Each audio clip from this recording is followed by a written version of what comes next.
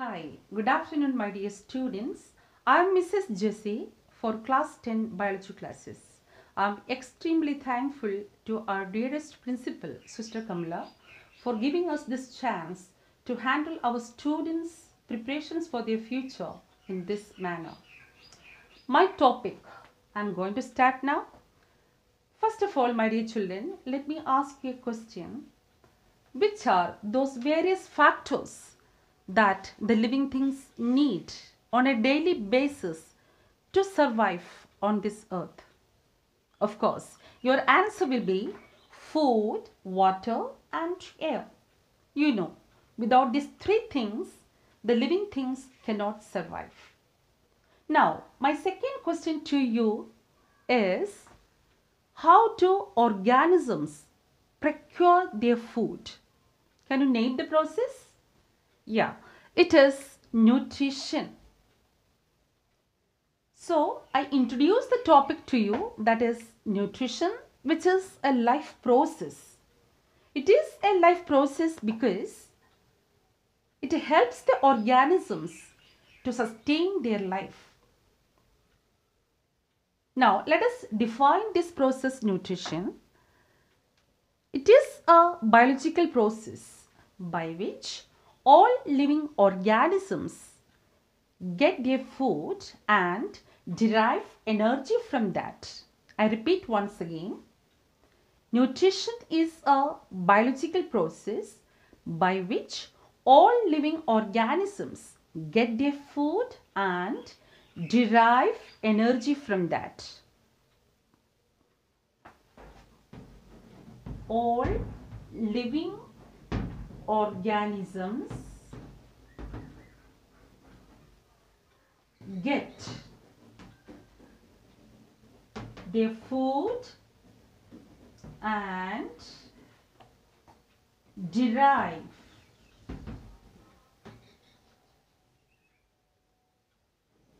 energy from that. You understood? I hope. Now, question comes, why do organisms require energy? Because you know that already I told you that they need food and because uh, uh, they have to derive energy from that. So now the next question is, which uh, what are the various purposes organisms require energy? Yes, you know, from the lower classes you had been learning, organisms need energy to grow.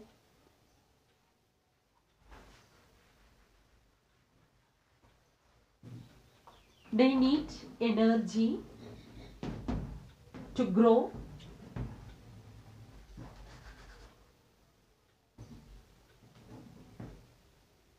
They need energy or food to grow, or then to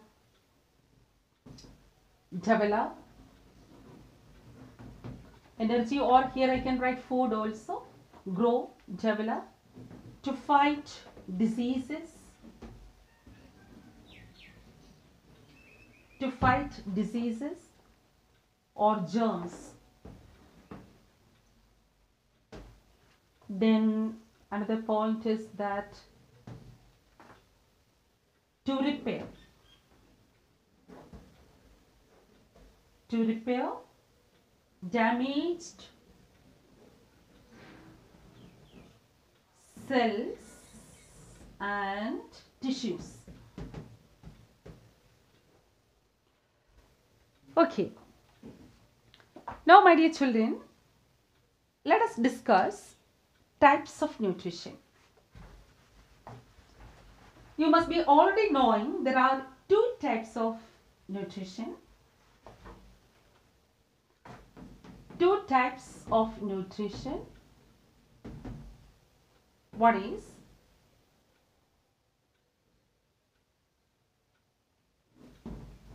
heterotrophic and the other is autotrophic. Okay children, uh, let us see now the types of nutrition. As you know, one is heterotrophic nutrition and the other is autotrophic mode of nutrition. Now, if you want to know uh, something about uh, autotrophic mode of nutrition, there are mainly two kinds. One is photosynthesis and the other is chemosynthesis.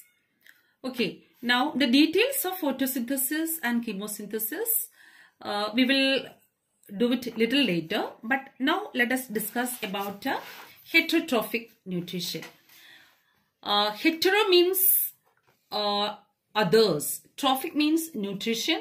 Trophic means, yeah. So heterotrophic nutrition means nutrition from some external sources. Under that, there are different modes. One is parasitism. What is the first one? Parasitism. You can see here.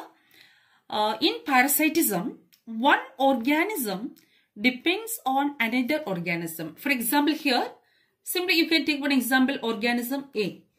Organism A depends on organism B for food and shelter.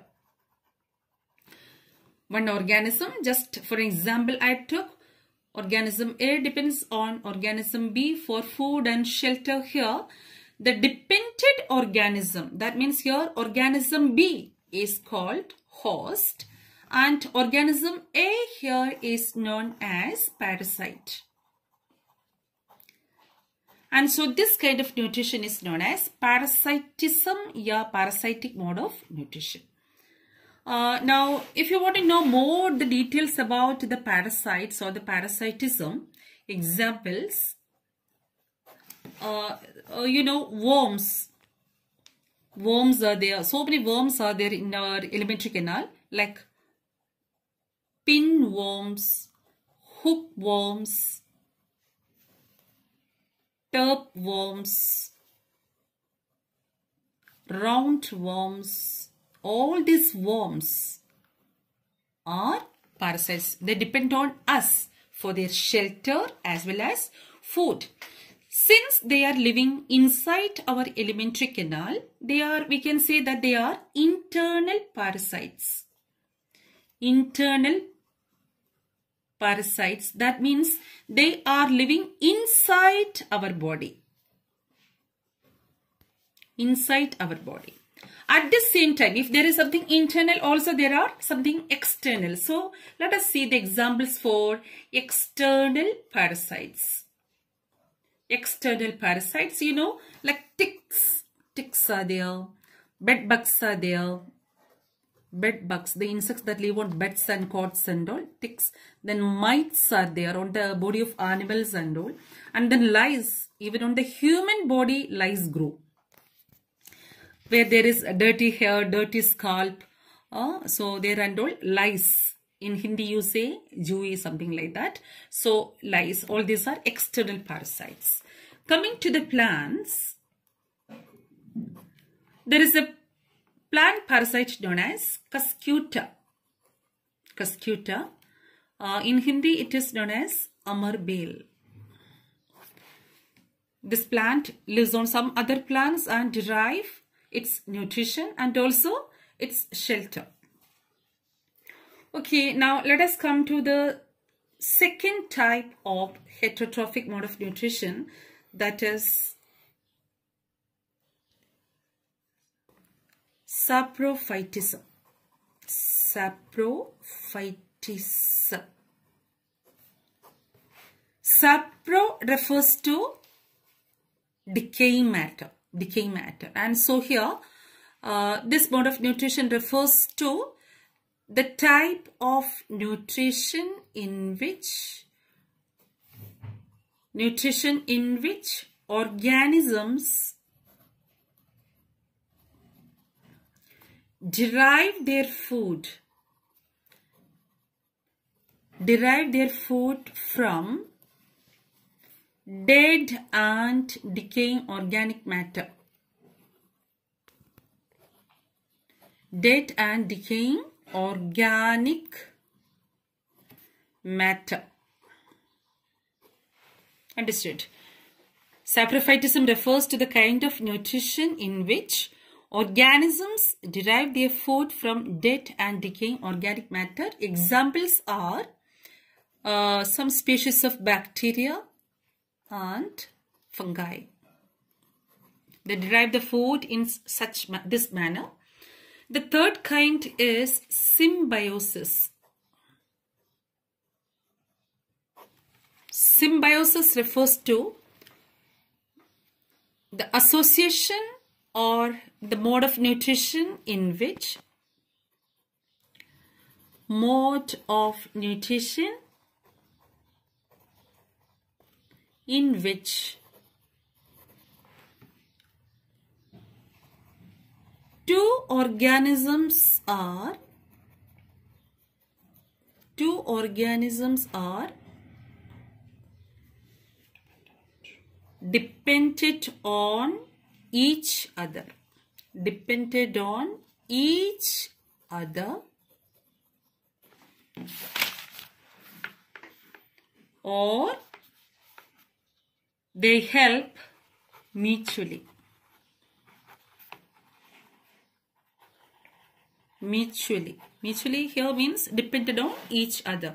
And there is no harm at all. Neither the uh, first organism or the second organism. None of the organism is harmed here. No harms in this relationship. No harm. But in parasitism the host organism is always harmed. So you can say parasitism is always harmful whereas symbiosis is always a mutual uh, mutually benefited. Both the organisms are mutually benefited. The best example for symbiosis is, uh, is lichen. Lichen is an association of algae and fungus. Algae and fungus. Algae provides food to fungus and fungus provides shelter to algae. So that way both are mutually benefited. Mutually here it means equally. Okay, equally. We can take is a uh, rhizobium. You know, rhizobium.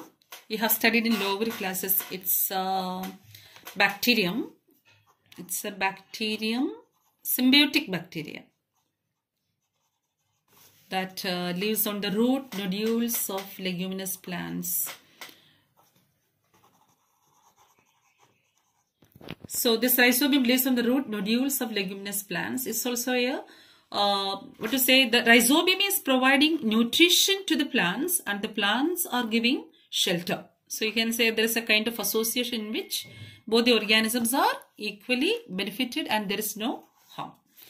And children, uh, one more uh, kind is there that is the fourth kind we can discuss under heterotrophic mode of nutrition that is insectivorous insectivorous mode of nutrition in which some plants are capable of performing photosynthesis. They are capable of performing photosynthesis but at the same time they are also adapted to trap insects with special structures formed on their body and trap the insects and digest it with the help of the enzymes produced in their special structures. They have some special structures to trap the insects and uh, those structures release enzymes, digestive enzymes and they digest these insects which they have trapped and digest it and make it as a part of their food. Some of these uh, examples for such plants are pitcher plant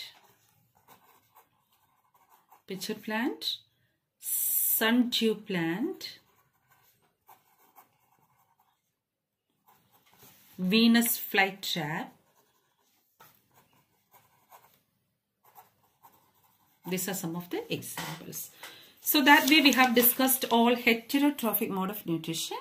In the next class in details we'll be doing photosynthetic photosynthesis which is coming under autotrophic mode of nutrition.